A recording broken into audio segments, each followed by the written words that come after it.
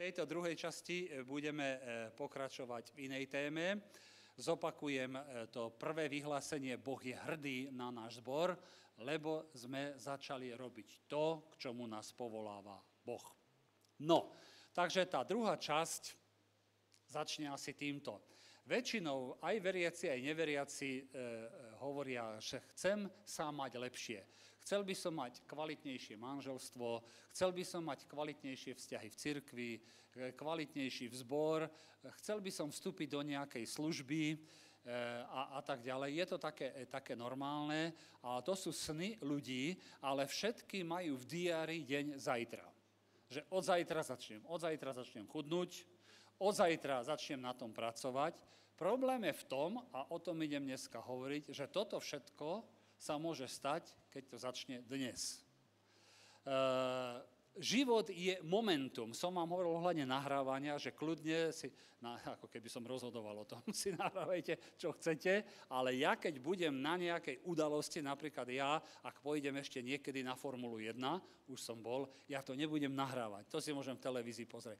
Ja chcem vidieť tie momenty, aké, aké príkazy dávajú v boxoch, ako tí chalani, ktorí to vymenia, čo robia vtedy, alebo na futbalovom zápase. Ja nechcem vidieť ten výstrih, kde loptu naháňajú, lebo to vidíš televízii. Ja chcem vidieť, čo robí tréner, pomocný tréner, e, e, čo robia títo kauči, tam je 30 členy tým okolo a chceš medzi tým, keď je to nudné niekedy, že si len ťukajú, taký, taká, také, taká, taká hra je taká upokojená, tak ja chcem medzi tým vidieť potom, ako kričie ultrasty, ultrasty, lebo chceš zažiť tú atmosféru a, a nie, aby som si ho natáčal. Ja, ja to hovorím preto, lebo život je momentum a keďže som typ, že väčšinou to prepásnem, ja som typ, že mne dojde večer, čo bolo na obe treba zachytiť. Som ten typ, ale vidíte, keď si to už uvedomujem, už je to celkom dobré. Tým nehovorím, že už to budem vedieť chytiť, ale už keď si to uvedomujem, eh, tak je to dobré, že kedy sa večer sa nemusím chytať za hlavu, že som mal ináč zareagovať o jednej, lebo išla od Boha situácia a ja som to prepásol, lebo v sebe máš nastavené, že zajtra. No, takže dnes preto ľudia nevedia uchopiť veci, aj kresťania, lebo máme prešpikovaný život aktivitami, rutinnými povinnosťami alebo potrebami iných ľudí. Jednoducho už žijeme ako aj e, na kolajniciach. Viera je teraz. Život je teraz. Ale viete, čo je zaujímavé? Aj zanepráznenosť je teraz. A my mu musíme so zanepráznenosťou, ktorá je teraz, niečo robiť, aby som vedel život a vieru, ktorá je teraz, uchopiť. Preto tie slogany a vyhlásenia naivným mladým manželom, že budúcnosť je vaša, ono je to pekné a chápeme, čo, čo je tým myslené, ale veľakrát je to len, že budúcnosť je krásna. Inými slovami, budúcnosť bude taká krásna, ako to dneska začnete robiť tom je to tajomstvo. Dneska rozhoduješ o budúcnosti. Dneska zachyť moment, keď Boh tebe prehovorí. Buď tu, na parkovisku, na rybách a vydoluj z tých príležitostí maximum. To, k tomuto vás budem viesť dneska. Vydoluj a nie ty, že sa pracne, ale Boh dáva príležitosti a na tebe je, aby si to uchopil a zrealizoval. Dnes chci mať pekný deň. Začína to týmto. Nie, že zajtra bude pekne. Dnes sa rozhodni, že chce mať pekný deň. Buď vďačný, že si tu, buď vďačný, že idete na dobrý obed, buď vďačný, že po obede máte oddych a, a maj v sebe to, že dneska bude pekný deň. Alebo potrebuješ po dlhej e, pracovke dneska povedať žene 3 hodiny šlofa po obede. Aj to je pekný deň, lebo potrebuješ zregenerovať. Aj to je pekný deň, áno. E, pretože ak takto sa nenaučíme chytať, že dneska, tak niekedy to raz nikdy nepríde. Že raz to príde. Ono to nikdy nepríde. To raz je dnes každý. To je vždy v prítomnom čase. Preto nás Biblia vyzýva, že Boh vylieva nové víno do nových košíc. V starom zákone alebo v starých dobách boli kožice, to bolo z brucha zvieraťa, e, tie sa e, nejako poupravovali a boli veľmi pružné, lebo to vozili na somároch a, a na ťavách a kade tade to prevážali, tak jednoducho, ke, keď to tam... A mladé víno ešte stále buble trochu, lebo je to také niečo medzi burčakom a víno, čiže tam musíš vedieť to akoby aj, aj prepustiť trochu. Teraz už začínajú, už, už sú burčaky asi, že? Už sú burčaky, e, sú veľmi dobré, strašne presladené, ale aj tak sú dobré. Áno, takže dobre si dať za nejaký pohár, ja to mám veľmi rád, len strašne sladké je to tohto roku, tak mi to nechutí. Ale e, preto Biblia hovorí, že no, nové víno nemôžete dať do starých e, mechov, e, pretože to roztrhne. Boh nové veci nemôže vložiť do mňa, keď sú tam len vychodené kolaje lebo to roztrhne. Tak to tam ani nedám. Takže e, Boh nemôže vyliať nové nápady do teba, pokiaľ si není ochotný zmeniť nové kožice. Pretože kožice rozhodujú, či ten nápad padne do stratená, alebo či dostane perspektívu v tebe. Stačí niekoľko rokov a jedno manželstvo padne do určitej rutiny Stačí niekoľko rokov, církev padne do rutiny a stačí niekoľko rokov. Je to tak? Aj rodina padne do rutiny, je to úplne normálne. E, a človek s tým musí niečo začať robiť, lebo ináč príde zaseknutosť vo vychodených kolajách. Čo je obnova? Obnova není objaviť Ameriku, ako som hovoril, že dneska nové učenia dávajú billboardy. No ak je toto kresťanstvo, že muž vyprava a žena sa nesmie ani k ničomu vyjadriť, to je úplne, ona sa trasie to dievča doma. Toto je kresťanstvo, to je ten, ktorý má rád ženu, toto. A ľudia na to idú. Viete prečo? Lebo ľudia sú už zaciklení v živote. Ehm, na počiatku to nebolo tak. Ježiš odpovedal kritikom mnohoženstva, ktorí sa ho pýtali, ale vopred mali otázku zodpovedanú. Boh hovorí k nám skrze obrazy, skrze videnia. Môže hovoriť aj slovom, mne to povedal slovom, som hrdý na váš zbor. Preto som sa otočil, že kto mi to povedal a bol som tam len ja a pes a potok. Tedy som vedel, že Boh ku mne prehovoril Zaujímavé. Hneď som vedel, do akej situácie hovoril. Ako v lete, keď hovoril, že nič nebolo tu. Na, na kryžovatke. Presne viem, kedy Boh ku mne prehovoril, že nič tu nebolo. To, to znamená, nič tu nebolo, choď ďalej. To, to nebolo, nič tu bola bomba. Áno, ale nič tu nebolo, choď ďalej. Boh aj takto hovoril. Väčšinou k nám hovorí skrze obrazy a videnia, a keďže Boh je živý, tieto obrazy a videnia skoro vždy budú iné, ako je tradícia.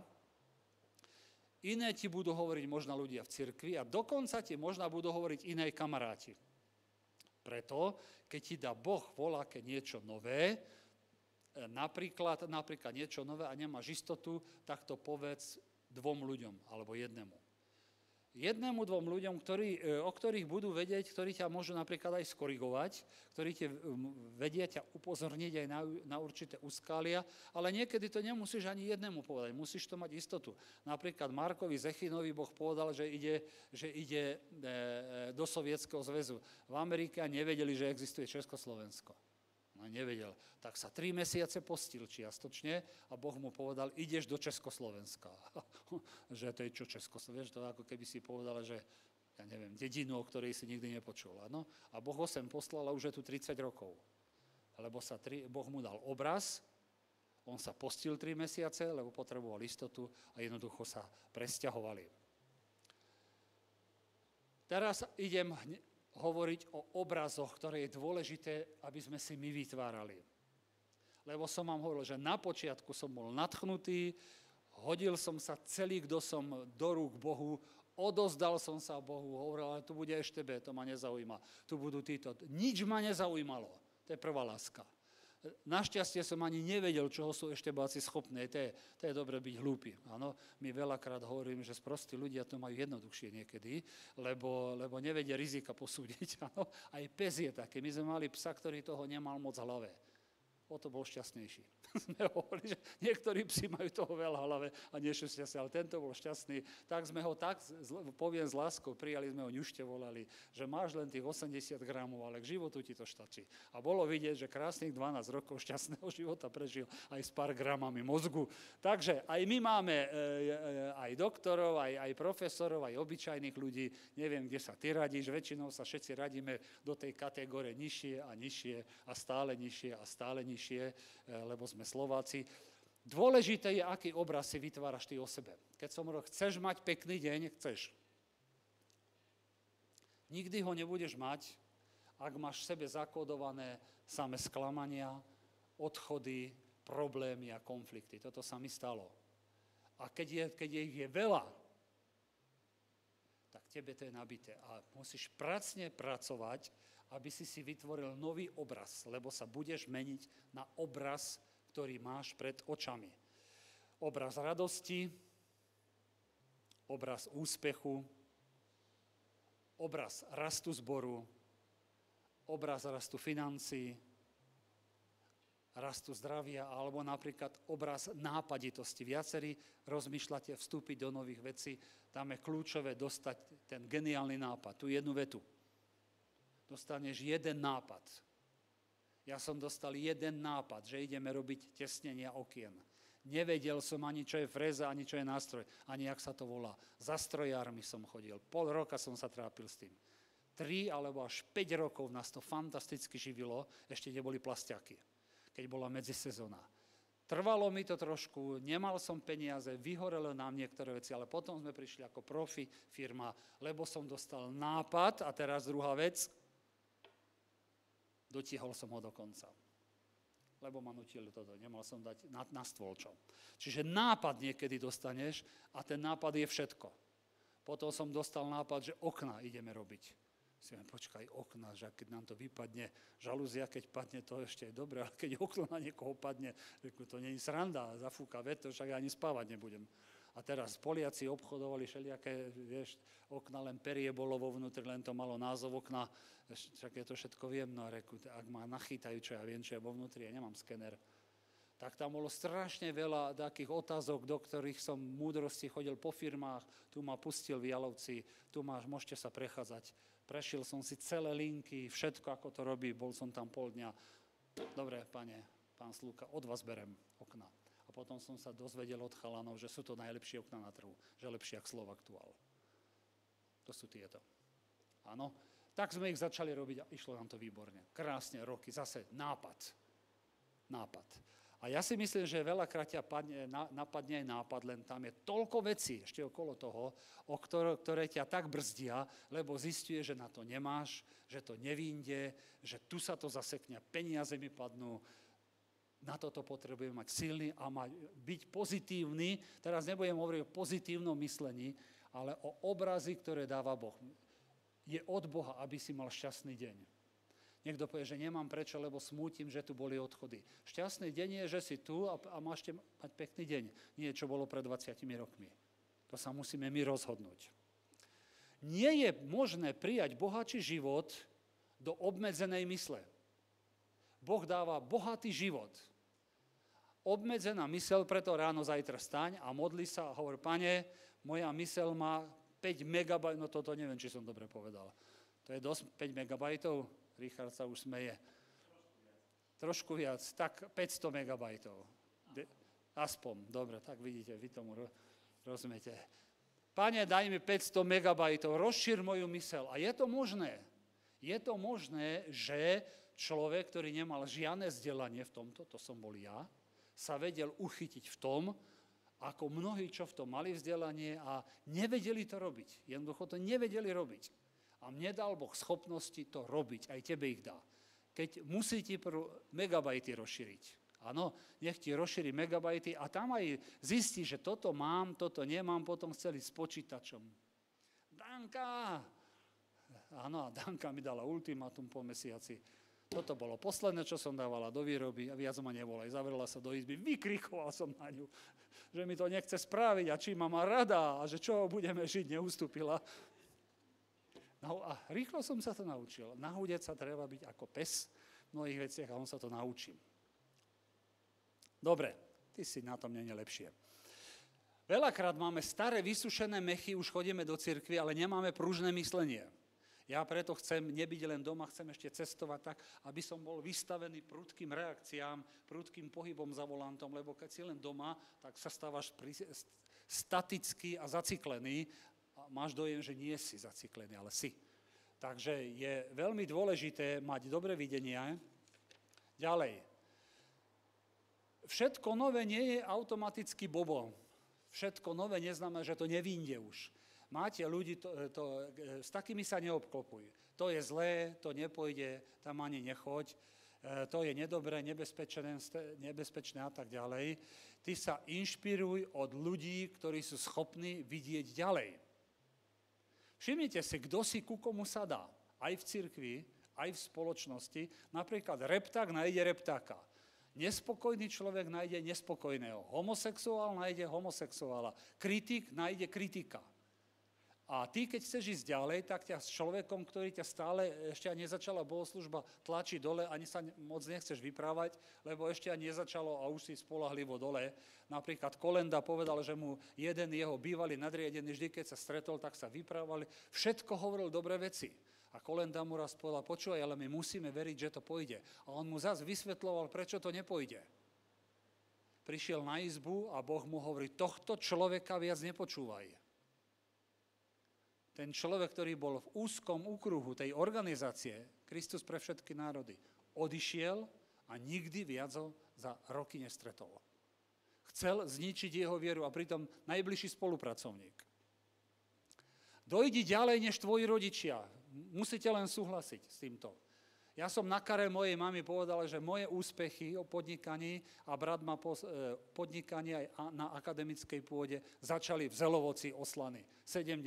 roky. Bez vody, bez záchodu, bez kúrenia. Jení Peterky, te viac kašlali ako kúrili, museli tam byť 3 stupne, nie je veľa, ale mama mala také, této, a koľko, taký, taký fištrón sa u nás tomu hovorí, mala to myslenia, keď prišla domov a keď sa nám už darilo, tak hovorila, že no, to som ja do vás dostal. Ako, a, v, a z časti to asi je pravda.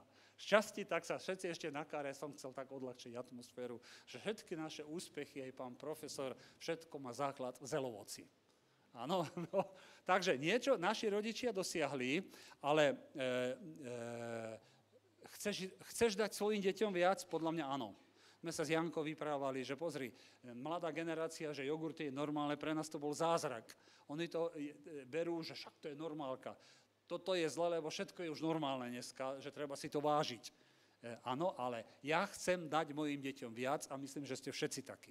Áno, než to, čo ste dosiahli vy a to, čo ste zle zažili vy, lebo každý by zažili niečo zle, chcete, aby to vaše deti nezažili.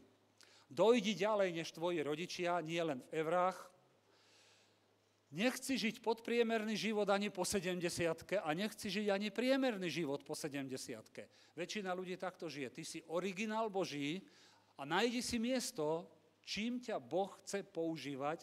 Veď toto je naša šťava. To nie je len pre triciatníkov. Sme povolaní k tomu, aby sme boli výnimoční, originálni, lebo chceme žiť. A žiť sa dá len tak, že budeš stále výnimočný, Vynimočný stolár, vynimočný holič. Môj otec nevedel nič, o môj otec nevedel ani kliniec pribiť. My sme nemali nič doma. Viete, čo je nič? Nič. Ale bol geniálny holič. Všetci sa učili. Tri roky, môj otec štyri. Učenie.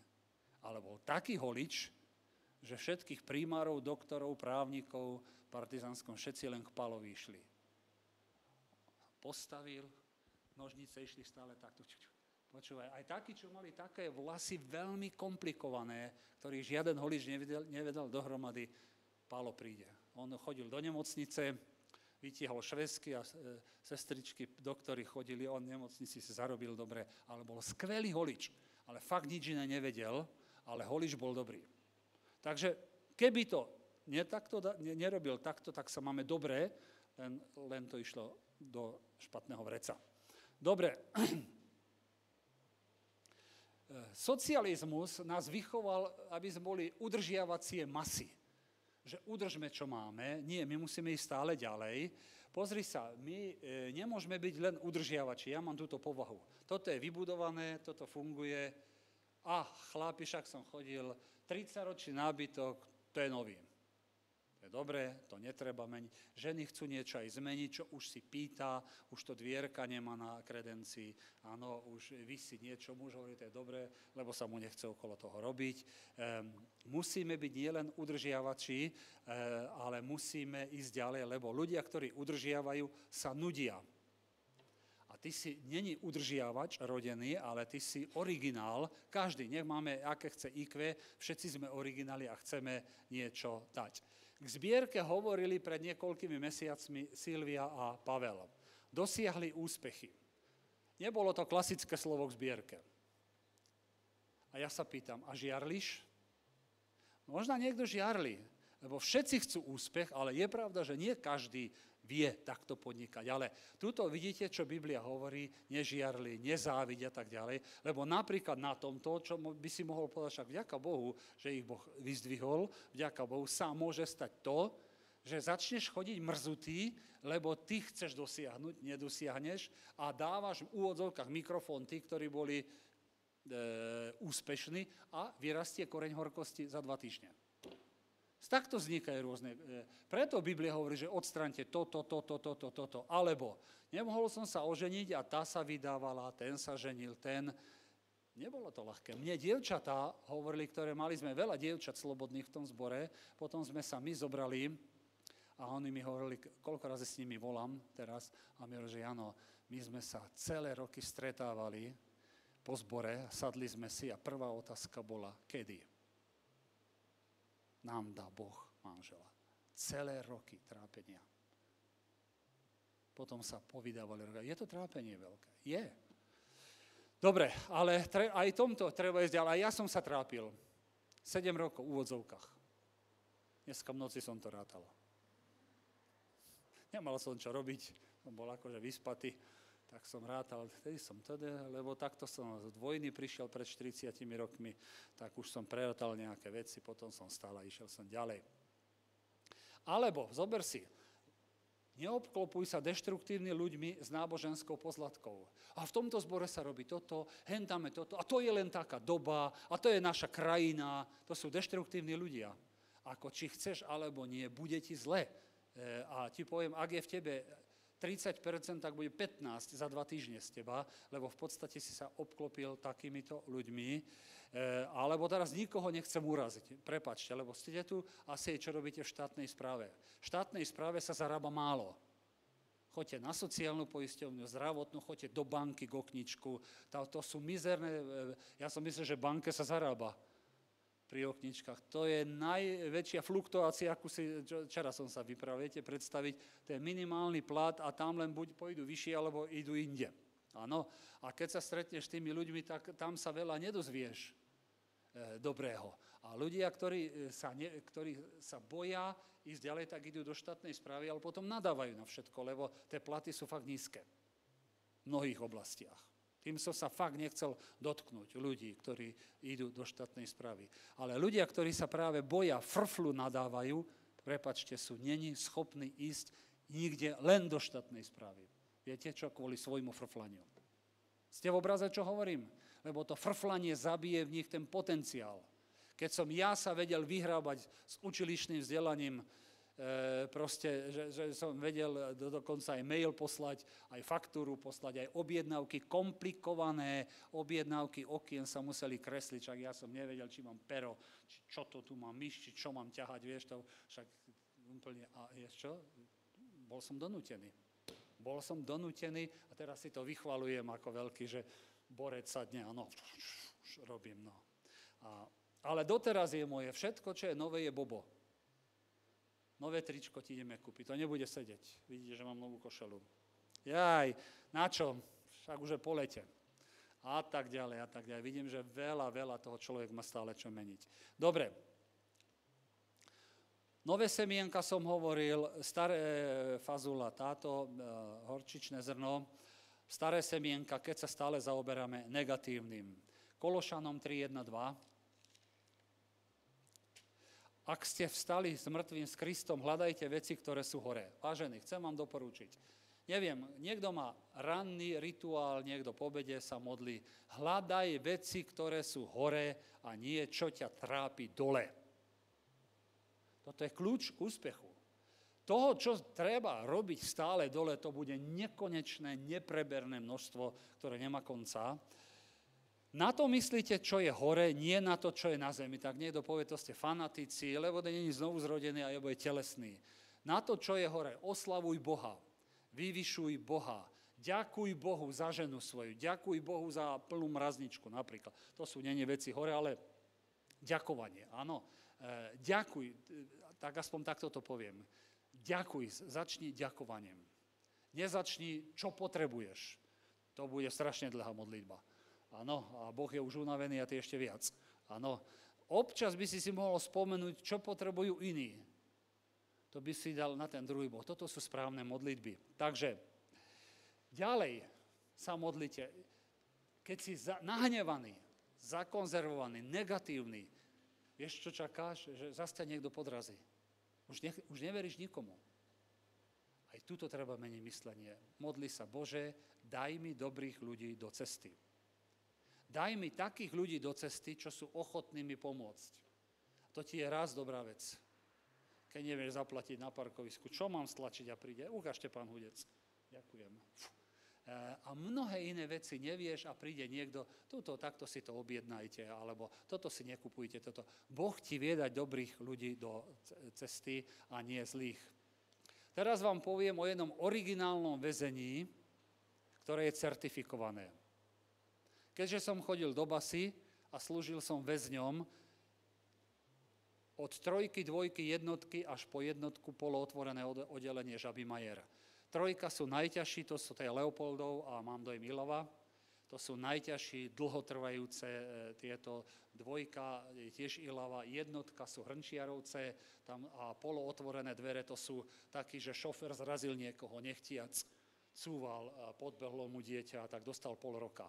Polo otvorené znamená, že chodia do mesta, dávajú im šancu a keď sa nevráti, väčšinu, väčšinu niektorí sú tak hlúpi, že sa nevrátia a má týždeň do prepustenia. Tak ho zabasnú a dostane za dva roky. Áno. No, ale cez to všetko, tí, čo majú dlhé roky, tak majú takýto slogán. Nič ťa v živote nečaká. A tým ich zabili. Všetku nádej im zobrali. Napríklad dostať 25 rokov Palo XY. Zabil ženu. Ďalší 23 rokov. Ďalší 19,5 roka. Viete, aká to je doba? A pred nich dali, nič ťa v živote nečaká. To je výrok, ktorý im zobral nádej. Deti sa za teba hambia, viac sa k tebe nepriznajú. Čo je pravda? Žena ťa príde naštíviť prvý rok, dva, tri krát, ale keď si pomyslíš, že 20 rokov a na teba, čo bude z teba, väčšina ich podá o rozvod a znova sa vydá a odsťahujú sa na neznáme miesto. Nevieš zarobiť nič, lebo si zavretý, ale najstrašnejšie, nič ťa nečaká. Strašné. A viete, čo je zaujímavé? Že veľa ľudí žije na slobode, vo vezení, nič ťa nečaká. Nič dobré ťa nečaká. Najstrašnejšie väzenie. A toto ako kresťania musíme dať von. Keby si bola vdova, keby si bol vdovec, čo je strašne ťažké, keby si stratil zamestnanie, keby sa stalo čokoľvek. Ak toto raz sa dostane do aj kresťanovej hlavy, na zhromaždení, ameň, haleluja, všetko je dobré a odídeš, sadneš do auta, nič dobré ťa nečaká. To je väzenie, ktoré si si vytvoril, je certifikované, ale kľúčik je znútra. Ty, iba ty ho môžeš otvoriť. Musíš rozbiť toto väzenie, ja som mal také obdobie, že ja už nechcem slúžiť cirkvi, lebo toľko problémov, čo, čo, čo je, lebo si nevedel, keď si vstupoval ako pastor, že to bude aj toľko problémov a čo všetkého zažiješ, tak som povedal, ja to už nechcem, ja už potom netužím. Musel si to zrevidovať a musím povedať, dobré veci prídu. Neviem, rozumiete mi? Dobré veci prídu. A musíš to nabiť do hlavy.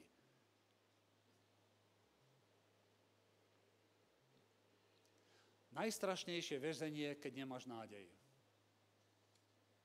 Staré mechy. Rýchlo sa vzdáš.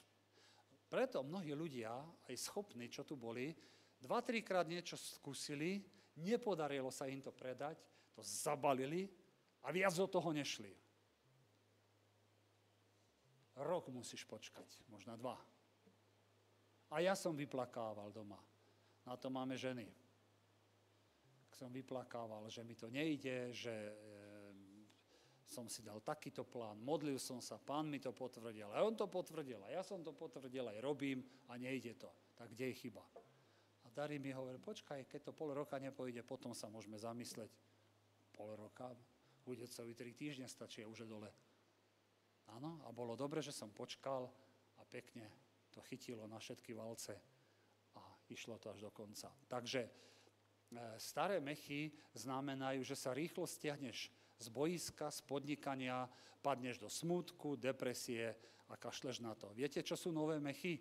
Tak sa modli dneska. Pane, dnes ma môžeš uzdraviť. No, keď ti to poviem, Dnes ma môžeš, no, sa toľky modlili za mňa. Dnes môžem začať prosperovať. Toto je viera. Dnes moje manželstvo pôjde dobre. Od dnes. Od moje dieťa sa napraví. A ako je to prakticky? Začni deň ďakovaním. Toto je postoj viery. A po týždňoch, nie po dňoch, po týždňoch príde radosť, po radosti príde zdravie, a po zdraví príde vitalita. Jeden chlapík od nás schudol teraz za tri mesiace, teraz neviem, či 15 kg, veľa. Tak ho kolega poslal doktorovi. Čo ti je? Má asi 45. Cukrovku, hen, to, to strašne veľa mu zistili. V nemocnici bol mesiac. Teraz ho posielajú očné pozadie a tak ďalej. Neviem všetko, ale jedna z vecí, ktoré viem. Stavali dom, to sú tvoje sny. Zadlžite sa, postavili ste dom, prišla kríza 2008, išiel do Nemecka robiť, prichádzal domov raz za nejakú dobu, so ženou sa odsudzili, on pracoval tam, ona pracovala tu s milencami, rozvod, deti mu zobrala a teraz by si povedal, že to všetci zvládneme, dom sa predáva. Ja hovorím, toto mohlo spustiť cukrovku u neho. To sú také emócie šialené. V podstate to není len, že sa rozviedli a odišli. To není o tom. Lebo ti zobrali sen. Preto ja hovorím o snu. A sen to nie je, že ti snívalo do sna mestí všetko. Napríklad ste sa zobrali a mali ste sen, že domček, deti a tak ďalej, to je sen. A keď to ide, tak to je jednej kompaktnej, jednom, bali, jednom balóne, to je všetko. A teraz sa ti to všetko rúca, ty sa tvári, že je dobré, on si našiel frajerku, ona si našla frajera. Tak to vypadá ako dneska, že každý má už tretiu a, a ono už štvrtého a ja neviem ako. Ale vôbec tam není šťastie. A zdravie sa rúti. A možno nepomôže to, že vložíme do vás, vložíme do vás, ale viete čo? to, čo stále odpustí jej. Ty odpustí jemu. Že si našla, chápeš? To čo, to, to, čo Boh od nás chce, odpustí, lebo ak neodpustíš, tak ťa to zabije, tá choroba. Dobre, to, to je z tohto týždňa. Ďalej, očakávaj veľké veci. Ja kážem ku sebe aj.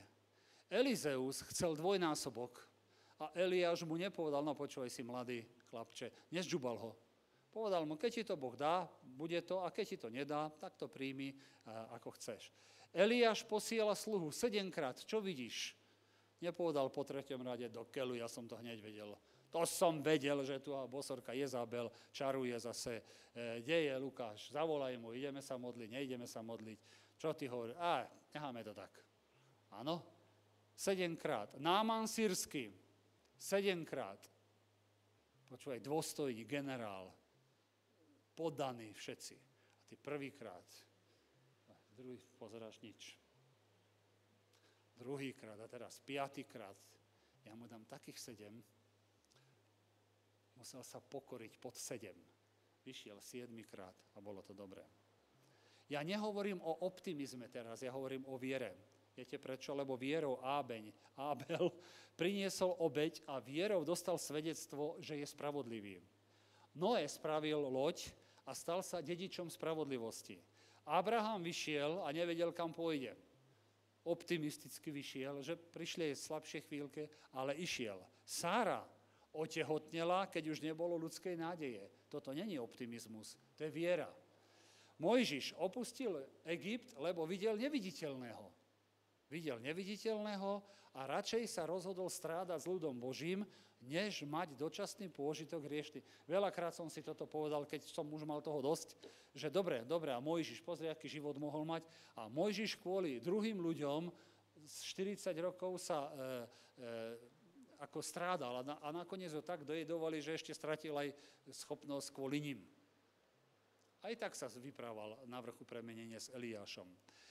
Preto Židom 12.1 je, že zhoďme bremená a bežme k Bohu, čo pre nás pripravil. Židom 12.2 prečítam.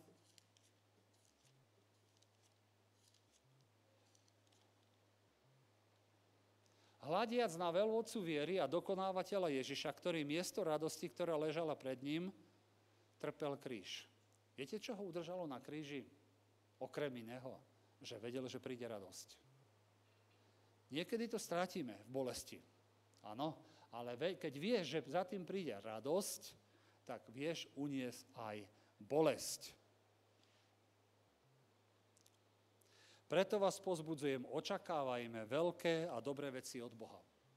Aj po tomto období, ktoré završíme. Áno. Ďalej, čítajme o Čítame o, už to tu mám, čítame o zaslúbeniach rastia prosperite, áno? Ale nevieš žiť ako víťaz, pokiaľ myslíš ako obeď. Dostaneš sa do pozície obete. Zázrak je, že vidíš seba tak, ako ťa vidí Boh. A toto e, včera pár, pár gramov kvaplo na mňa. Ja som, ja som sa vznášal izbe. Jeden boží muž, s ktorým sa to stalo, Zomrel v roku 99, volal sa John Austin. Všetky zhromaždenia začínal týmto. Toto je moja Biblia. Som tým, čo sa v nej píše, že som. Mám to, čo sa v nej píše, že mám. Po rokoch hľadania prekonal mentalitu chudoby, depresie, zúfalstva, bol chudobné dieťa, otrhanými nohavicami, E, otrhanými topánkami a, čo som hovoril, chcel, aby jeho deti e, išli ďalej, ale mal mentalitu chudoby aj v cirkvi a ukážem vám akú. Prichádzali návštevy do zborov a oni ledva vyžili ako rodina, už mali asi 3-4 deti, takže hostujúci kazateľ bol u nich a tým menej sa ušlo deťom. A tieto deti to roky znášali. Joel Austin, jeho syn, ktorý vedie ten e, najväčší zbor Lakewood Church, Lakewood, odborná angličtina, takže si to preložte už. No, a potom jeden bohatý podnikateľ prišiel za ním a mu povedal, počúvaj, tu máš 100 dolarov, e, živil si týchto, nech ťa Boh požehná. Chytil to takto za konček a hovorí, nie, ja to nemôžem prijať, dáme to do zboru. Tá mentalita chudoby mu nedovolila, aby si zobral tie peniaze. Ja som sa toto vďaka Bohu naučil. Prv som mal s tým aj ja obrovské problémy, lebo máš dojem, že si, robí, že si chudák, že si nezarobíš a že ťa nikto nebude ponižovať. Teraz to vďačne prijímam. No, keď ľudia prídu, Jano, vidím, že ti mám dať toto. Lavývaček sa otvorí, haleluja, ďakujem, závre a idem ďalej. Ako, není, není to v tom, že e, čakám na to, ale ne, ne, neštorcujem sa, lebo vidím, že ma Boh vie požehnať a potom darmo sa modlím, pane, nemám na e, chleba, e, daj a on dá, len tá mentalita ťa nepustí ďalej. To znamená, že sa, e, pozrite sa, keď sa nevidíme, ako nás Boh vidí, keď prídu prvé problémy, utekáme späť do sveta.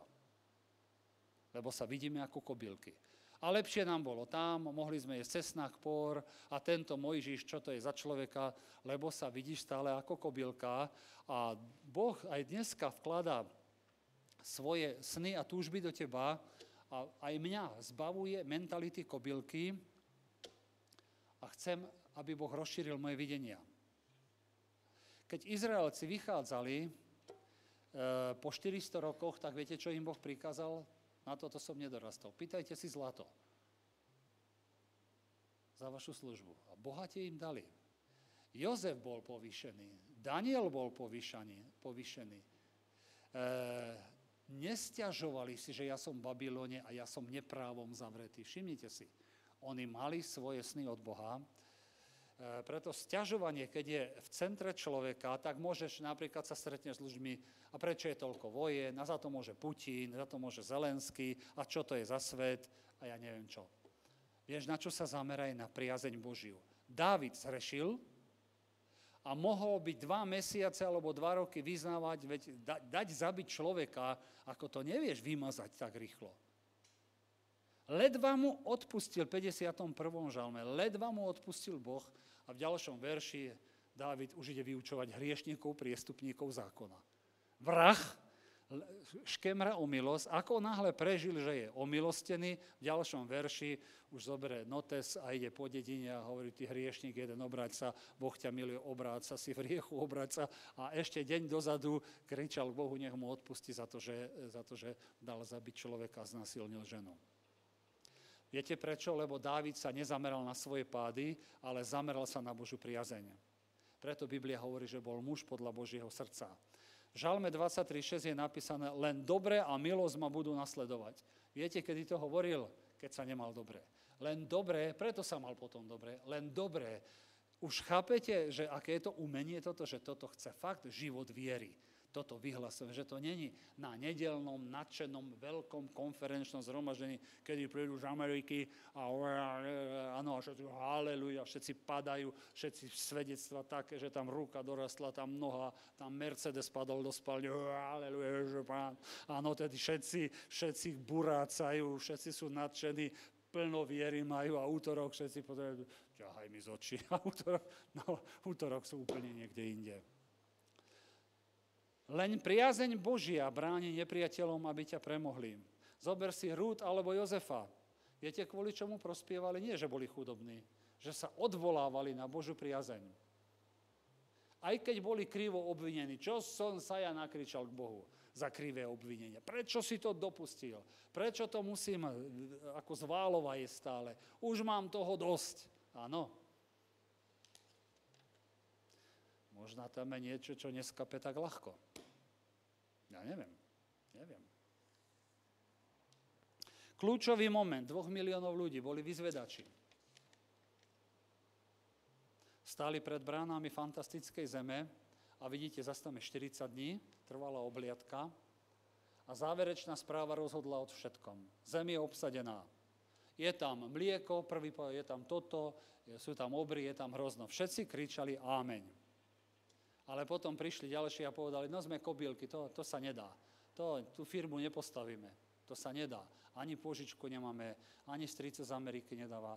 Ja nemám ani na prenájom a teraz musím kúpiť píly, musím kúpiť to a to a kedy to splatím a čo keď to nevinde a vieš čo, radšej to nechaj, radšej sa žijú týmto. Áno, to sú boje, ktoré prechádzajú normálne v človeku a preto treba vedieť e, slovo od Boha, a potom v ňom treba ísť hlava, nehlava. A vidí, že, no, že preto som hovoril, že slabý človek není ten, čo vie kázať. Pardon, tako, e, že kto vie kázať, spievať, písať knihu. A Tomáš ma, sa ma pýta, že to si koho myslel? Ja hovorím, nikoho. No, ten a ten napísal knihu. Reku, neviem o tom. To si to, toho myslel? Reku, nie, ani neviem, že napísal. Ja som to naročky, lebo o každom viem, že ten nenapísal nikto, tak som tam dal aj písateľa knihy, aby som to odľahčil. A z hodov okolností jeden napísal knihu. Takže ako to vypadalo, že Hudec sa dozvedel, že napísal knihu a hneď to vyblákol kázni. Nevedel som. A, a takto to býva, že dostane niečo od Boha a povedia, a on to počul, ale to ste zažili aj odo mňa, že niekto žaloval a ja kažem o tebe práve. Áno, vy ste to zažili a ja som si toho už vyjedol dosť koľko razy. Ehm, no, to tak chodí. Božie slovo je živé. Zlé správy je, sme kobylky, sme zo Slovenska, nič nemáme. Boží pohľad, sme Boží muži, sme schopní, sme zmocnení. Poviem vám takto, Boh má dosť kresťanských kobyliek. Z jedného zboru do druhého, z jedného učenia do druhého, z jednej firmy do tretej, do osmej, všetko skrachuje. Teraz nehovorím, aby ste nešli do... Mám tu ľudí, ktorí, ako vidíte, ja neviem, Peter bol už neviem koľkých firmách a všade len stúpa. Čiže o nepimpongujú, že, že vždy ide od 1500 na 300, ale proste všade stúpa, dobre je taká doba a tak ďalej, takže dobre. E, kobílky sú stáli kresťanskí vandráci, lebo tam je nedostatok viery, nedostatok sebavedomia a nedostatok viery ťa vie okradnúť o plodnú budúcnosť. Som vám povedal, že ja chcem mať ešte veľkú budúcnosť. Ja sa nechcem dívať, že je koniec. Všeli, čo vidím, keď chodím na kontroly, všeli, čo vidím, všeli, čo počujem, všelijaké správy prichádzajú ku mne, ale ja som povedal, ja chcem mať ešte dobrú budúcnosť, ja nechcem prežívať. Áno, ešte žijem stále e, relatívne dobrý život. Včera sa ma tiež na tej opekačke pýtali, Jano, čo to máš? Tak som im hovoril, bla, bla, bla. A, a, a viacerí sa začali stiažovať na rodičov, že ako ich odsúvajú, e, môžu spadnúť, zomreť a že stále není kedy. A že ty, keď nám hovoríš, ja som zavolal môjmu doktorovi, za dva dní ma zobral a za dva dní som bol v Bratislave. Ale ja nemám nikoho. Boh robí. To Boh robí. A nie len v tomto. Potom som si hovoril, dobre, však už som chcel aj skončiť. Ale Boh ma vrátil naspäť, tak ešte musí mať nejaký plán. Nie? Ja som už skončil pred dvoma mesiacmi. Dobre, odchádzam. A Boh ma vrátil naspäť. A musím žiť pre tento plán. Nie, že idem tu je pestovať a nožnice brúsiť. Možno by som niečo vedel, ale musím robiť to. Ďalej, Ja môžem povedať, že u nás je mentalita chudoby zlomená. My sme ho zlomili, zdary.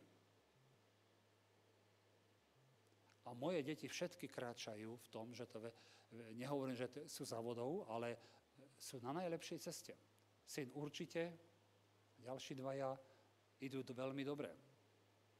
Lebo sme to zlomili. A takisto aj vy musíte zlomiť, e, teraz, teraz hovorím o peniazoch, ale tam je strašne veľa všeličoho. Ďalej ti chcem povedať, každému zomreli jeden, dva sny. Možno päť. Tak ich pochovaj a sa postav, Bože, daj mi tvoje sny.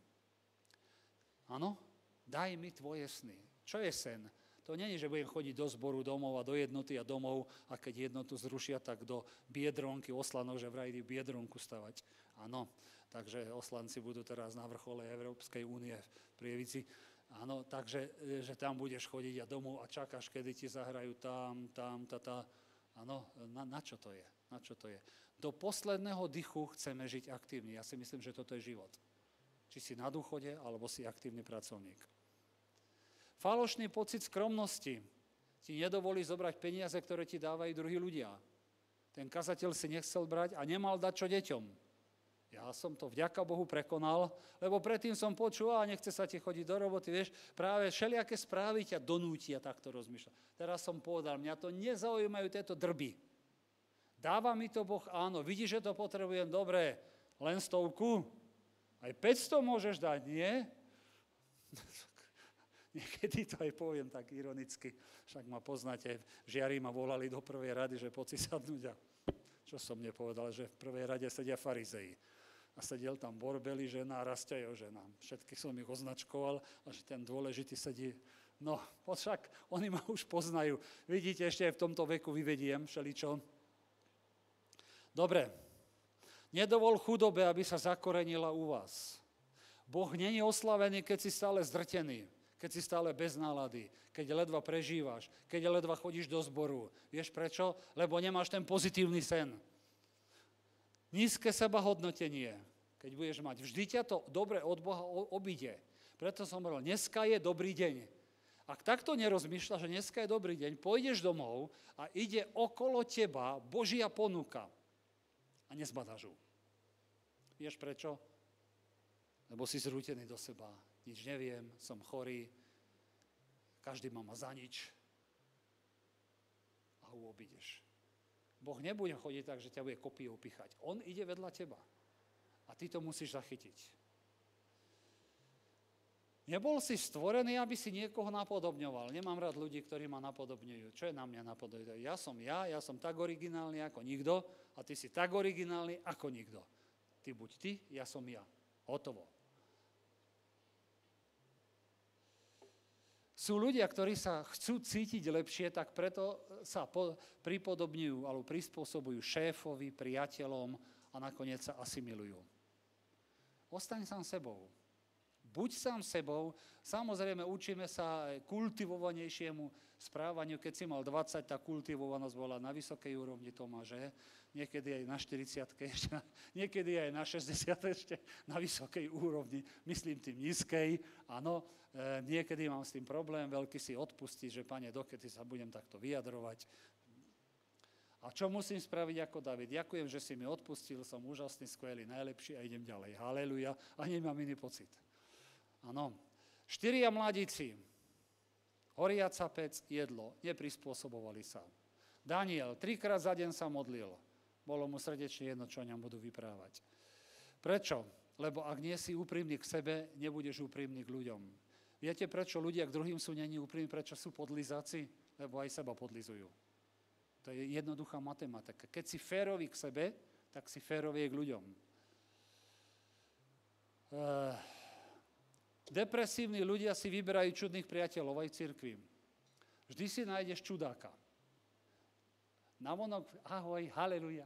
Môžeš sa tu smiať, ruky dvíhať, všetko dobre, ale ak si stále zrútený, ak máš myšlienkový svet zlý, tak ťa to bude ťahať len k zlým, alebo to poviem inač.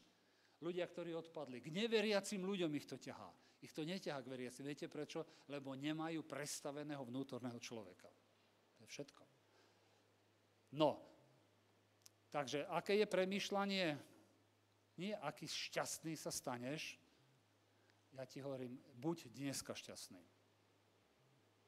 A možno povieš, prečo? Tak choď, no, spomeň si, keď boli ťažké dnie. Spomeň si, keď si bol rozpílený, rozrezaný. Spomeň si, keď si bol na vojne. To boli ťažké dnie. Keď sme plakali, alebo chlapci plakali, domov chceli ísť. Keď sme v 30 vonku boli, keď nám jesť nedali, keď prišla večera a povedali styk a odchod, hladný, ráno si išiel je styk, Karol sa usmieva, to bolo súčasť výcviku. A hladný, dopotený, hen taký, aj rožok suchý by si dal, ani rožok si nesmel nič. A proste tak, tak tam máš dôvod byť nešťastný. Ale my sa máme veľmi dobre. Občas každý padne na dno. To neznamená, že keď ti poviem, že buď šťastný, že budeš stále. Pozri sa, Jan Krstiteľ padol. E, Jan Krstiteľ, keď ho zavreli, povedal, nechápem, čo sa to so mnou deje. Bože, prečo? I veľakrát sa takto pýta Maja, Bože, prečo sa to stalo? Ale rýchlo sa dostaneš hore a Jeremiáš sa pýtal, páne, prečo toto, na čo som sa narodil takýto život, ale potom znova sa dostal do toho svojho povolania. Ukončené, vy sami ste zodpovední, aký chceš mať dneska deň ako chceš žiť s Bohom.